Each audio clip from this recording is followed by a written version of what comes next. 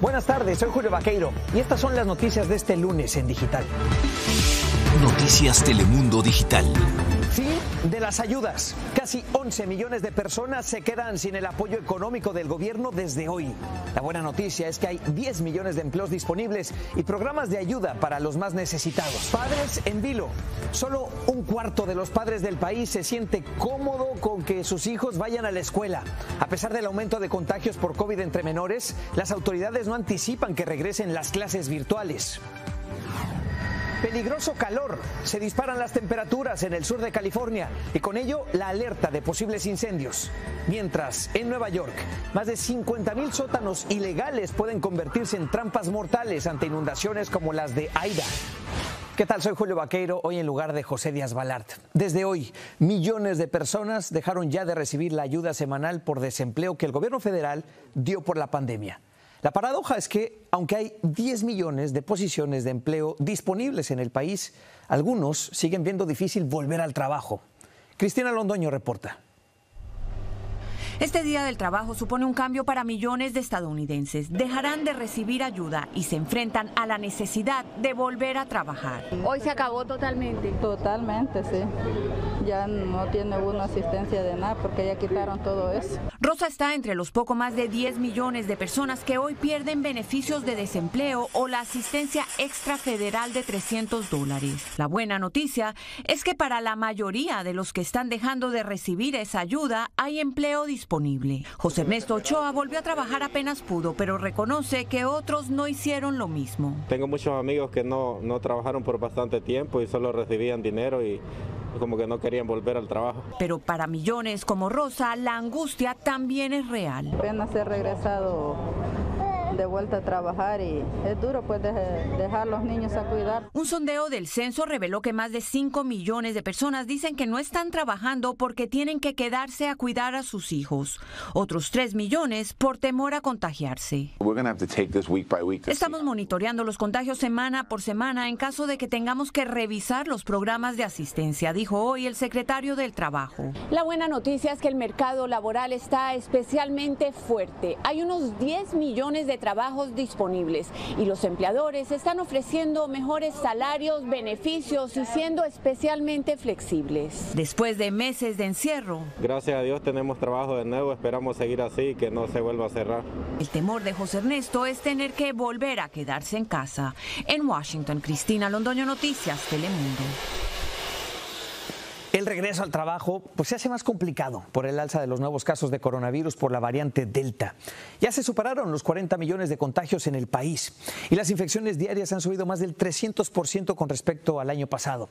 Las muertes diarias por COVID aumentaron casi el doble comparado con el Día del Trabajo de 2020 y cada vez más menores de edad se enferman al punto que las tasas de hospitalización en niños y adolescentes aumentaron cinco veces entre junio y agosto.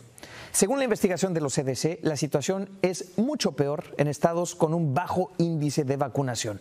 Por eso hay muchos padres que temen que sus hijos se contagien en la escuela. Francisco Fajardo amplía.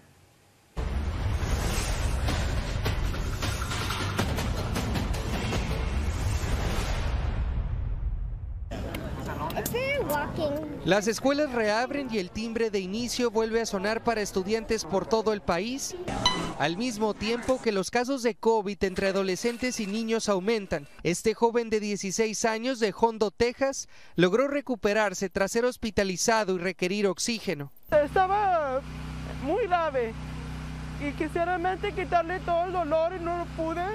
Desde Florida hasta California, entre padres de familia como Janet, crece el debate entre una mejor educación y el riesgo de que sus hijos contraigan el virus. Estoy tranquila porque tienen buena seguridad en la escuela, pero sí, sí está uno con el pendiente para ellos. Una encuesta de la Asociación Nacional de Maestros y Padres definió sus principales preocupaciones que sus hijos se contagien en el salón y se enfermen, que puedan infectar a un familiar o que su aprendizaje se vea interrumpido. Es lo que le pregunto al niño, a veces le digo, este, están muy amontonados o tienen espacio y todo eso. Me dice, estamos bien, no somos muchos. En general, solo un cuarto de los padres se sienten muy cómodos de que sus hijos regresen a clases presenciales.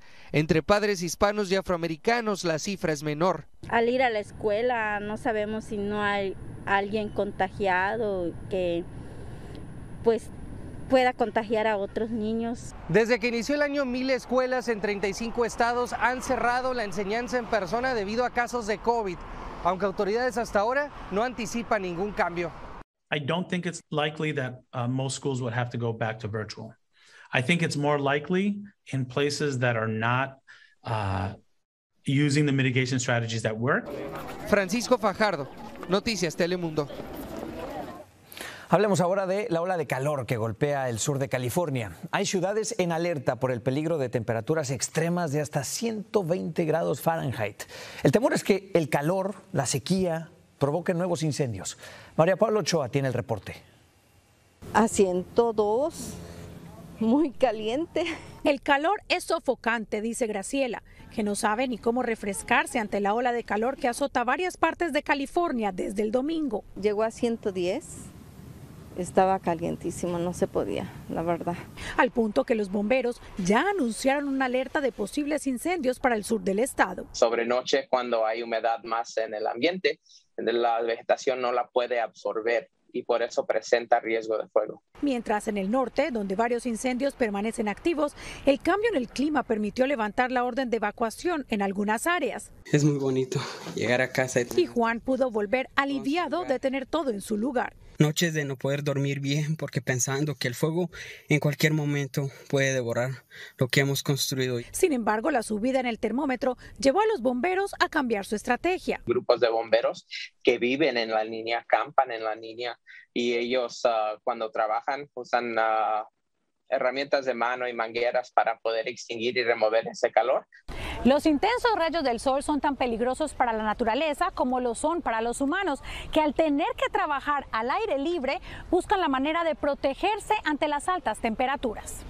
Sombrero y la paraguas y sí, pues ahí nos ayuda mucho también el, la paraguas. Tomar líquidos constantemente es una de las recomendaciones de los doctores. Llega un momento que el cuerpo, como ya no tiene suficiente agua, empiezas con síntomas de deshidratación.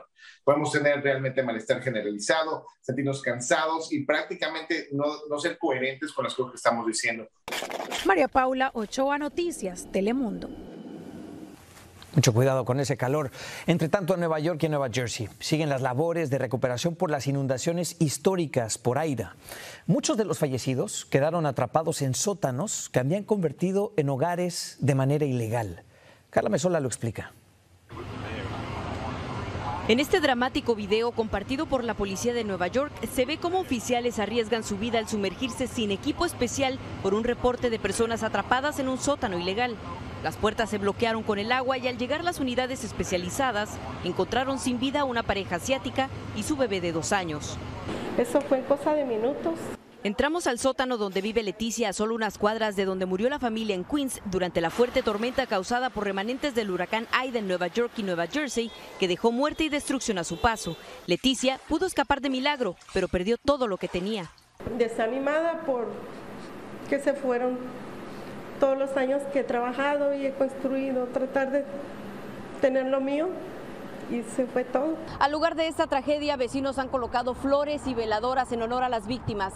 La policía asegura que la mayoría de las muertes en Nueva York se dieron en estos apartamentos ilegales. Son más de 50 mil viviendas en sótanos ilegales en Nueva York, según el alcalde de la ciudad, y muchos de ellos son habitados por latinos. Sin ruta de escape, representan un peligro ante inundaciones e incendios, y durante esta tormenta quedaron bajo el agua. Cuando bajé al rato flotaba la nevera, flotaba una cama que tenía ahí, flotaban los muebles, flotaba todo, todo. FEMA y autoridades locales recurrieron los hogares afectados en la zona, donde las familias son elegibles hasta con 30 mil dólares en ayuda. Trabajan en un plan de emergencia para estos lugares en previsión de una próxima tormenta de esta magnitud. Tienen que ser legales para que este apartamento pueden ser seguros. También en Nueva Jersey se ha dado la declaratoria de desastre para apoyar a las víctimas. En Nueva York, Carla Mesola, Noticias Telemundo. Y en Luisiana el problema es todavía la falta de electricidad. Ha pasado más de una semana del azote de Aira en el estado y casi medio millón de clientes siguen sin servicio eléctrico. Las temperaturas son altísimas y además aún quedan comunidades inundadas. En muchas de ellas viven latinos. Rubén Pereira tiene los testimonios. Es bien terrible. O sea, yo eso no se lo deseo a nadie. Ni a mi peor enemigo ni a nada. Es el dolor y la desesperación de Stephanie y su familia al no soportar el calor que ha resultado mortal. A su hija y sobrinos los coloca en una alberca para refrescarse. Ella cruzó la frontera hace tres meses y jamás imaginó que viviría esta experiencia en Estados Unidos. O sea, para mí las dos cosas son iguales. Porque se sufre en el camino, se sufre hambre y frío, los zancudos, no tiene donde dormir. Casi medio millón de hogares continúan sin electricidad en Luciana. Imágenes aéreas muestran cómo comunidades como esta en la FIT continúan inundadas y los residentes no pueden aún acceder a sus viviendas. Muchos residentes en áreas latinas se quejan de que las autoridades no les dan prioridad. Estamos impactados más que para el lado de, de New Orleans. Sí hay este, desastres, pero no como aquí. Otros han estado a punto de sumarse al saldo fatal del huracán, como Sonia y sus hijas, que se intoxicaron con monóxido de carbono de un generador de energía. Se vomitaban, o sea, ellas ya, ya también tenían síntomas y pues fue que decidí sacarlos, pero ya, ya íbamos bastante intoxicados. Este es un ejemplo de cómo vecinos y voluntarios se organizan en los lugares donde no ha llegado la ayuda por parte de las autoridades. Se estima que en algunas zonas la electricidad podría estar escasa hasta finales del mes. Y es que el huracán Aida destruyó más de 22 mil postes de electricidad, pero a pesar del sufrimiento en las comunidades afectadas, agradecen el esfuerzo de la Guardia Nacional y otras organizaciones que los ayudan con comida, agua y hielo para soportar el calor. Personas necesitan la ayuda. I mean, mira, la destrucción es muy, muy mal y si nosotros no ayudamos, nadie, nadie va a ayudar. Y Julio, este es un ejemplo de una de las comunidades que siguen pues con los estragos de Aida. Como puedes observar, hay bastante destrucción. También aquí no han llegado las cuadrillas de trabajadores de electricidad. Aquí se ven postes tirados incluso con transformadores. Y aunque algunas personas aquí tienen generadores de energía eléctrica, otros no. Así que tienen que pasar todo el día y toda la noche con temperaturas extremas, sufriendo mucho, Julio. Durísimo, Rubén. Tú ya llevas pues varios días ahí en la zona del desastre. ¿Cómo, cómo los has vivido personalmente? Efectivamente, Julio, tenemos ya más de 10 días aquí y duramos una semana también, al igual que estas personas, en un hotel sin electricidad, comiendo mal. Sin embargo, lo que sea que nosotros hayamos pasado no se compara con el sufrimiento de estas familias que tienen hijos, que tienen bebés. Y nosotros ya nos vamos, Julio, pero estas personas se quedan aquí sufriendo por semanas más, pues esta pesadilla que les ha dejado Aida. Totalmente. Muchas gracias. Gracias, Rubén Pereira, desde Luisiana. En Florida, un exinfante de Marina de Estados Unidos está detenido por matar a tiros a cuatro personas, entre ellas una bebé de tres meses. Una cámara de seguridad captó estos disparos ayer contra varias casas de la ciudad de Lakeland, en el oeste del estado. El hombre quedó identificado como Brian Riley, de 33 años. Según las autoridades, era veterano de las guerras de Irak y de Afganistán. Aparentemente padecía estrés postraumático. Entre las víctimas, una madre de 33 años y su bebé de tres meses. La comunidad está consternada preocupante que pasen estas cosas, ¿verdad? Eh, que haya gente que todavía no tenga eh, ese sentido ¿no? de humanidad y que no respete eh, las vidas de, de, las demás personas, ¿sabes? La verdad es triste para la familia de los, los que murieron y pues, y pues ojalá pues ya lo agarraron el, el que hizo esto. En el tiroteo también quedó herida una niña de 11 años que está hospitalizada. Al hombre le negaron derecho a fianza, enfrenta 17 cargos, entre ellos 4 por homicidio en primer grado. En otras cosas, el Departamento de Justicia afirmó que protegerá a las mujeres de Texas que quieran abortar, pese a la nueva ley que prohíbe la mayoría de los abortos en el estado. El gobierno federal explora opciones para impugnar esta medida después de que la Corte Suprema se negara a bloquearla. El fiscal general Merrick Garland aseguró que no se tolerará violencia o amenazas contra quienes intenten acceder a servicios de salud reproductiva. En tanto, compañías como Uber o Lyft ayudarán a sus conductores con los gastos legales si es que son demandados bajo esta ley. Nos vamos a El Salvador. Hay reacciones encontradas después de que la Corte Suprema diera luz verde para que el presidente Nayib Bukele sea reelegido. La decisión ya desató críticas internacionales. Samuel Arias tiene la, la polémica. En medio de la expectativa generada por la entrada en vigor del Bitcoin como moneda, Otra crisis se cierne sobre El Salvador, la de la reelección presidencial. Aquí miembros de organizaciones sociales protestaron por el fallo de la Corte que abre las puertas a un segundo mandato de Bukele. Estamos exigiendo el respeto hacia la Constitución de la República y también el respeto hacia la democracia. La resolución emitida por magistrados afines al mandatario, elegidos el pasado 1 de mayo luego de la destitución de los anteriores, da pie para que el presidente Nayib Bukele pueda optar por un segundo periodo en el 2024. Para este abogado, esa resolución no tiene validez. Dice que la Constitución prohíbe claramente la reelección en al menos cinco artículos. El periodo presidencial será de cinco años y comenzará y terminará el día primero de junio, sin que la persona que haya ejercido la presidencia pueda continuar en sus funciones ni un día más. Los salvadoreños, tanto dentro como fuera del país, tienen opiniones encontradas. Siento que es el que está haciendo un poco las cosas bien. Ningún gobierno cambia la constitución para beneficio de, del pueblo, la cambian para beneficio de ellos. Por su parte, el Departamento de Estado de Estados Unidos condenó la decisión de la Corte e hizo un llamado al presidente Bukele a que demuestre su compromiso con la democracia y el Estado de Derecho. En respuesta, el jefe de los diputados oficialistas dijo vía Twitter, que se lleven las ensambladoras de calzoncillos que pensaban traer.